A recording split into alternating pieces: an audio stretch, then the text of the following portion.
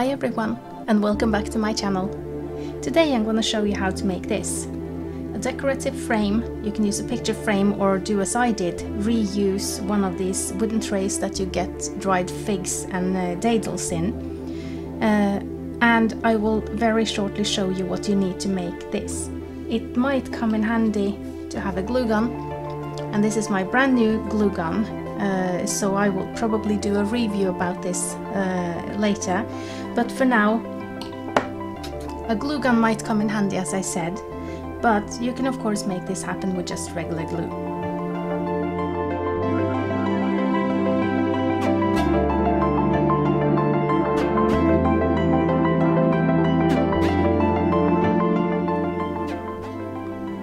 First, I'm gonna start by covering this with white paint. I might have to paint several layers, but let's see what it looks like after just one.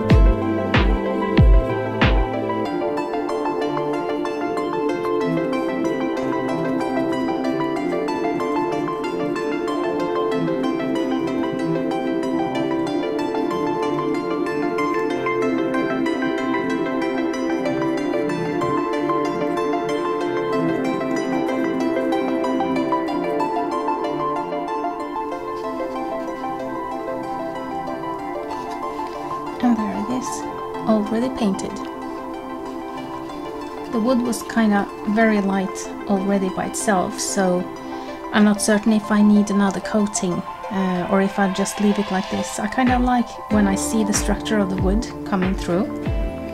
So while this is drying now, I'm gonna make the flowers.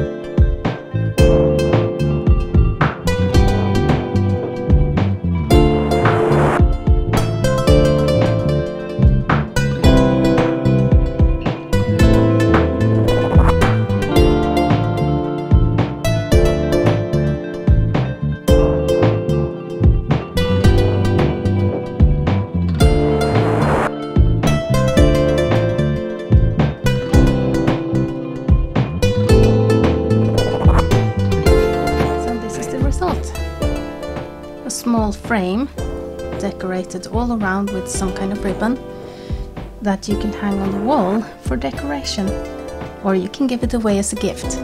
So thank you so much for watching. I hope you enjoyed this video. Um, this was really fun to work with this uh, foam paper. Um, this is the first time I'm doing anything of the sort, but it will not be the last time. If you are not already subscribing, feel free to do so and do tick off that bell so you do get a notification when I'm uploading a new video. Please drop me a comment what you thought about this and uh, if you have any ideas or thoughts what I could do in my next video feel free to tell me. So until next time then, bye!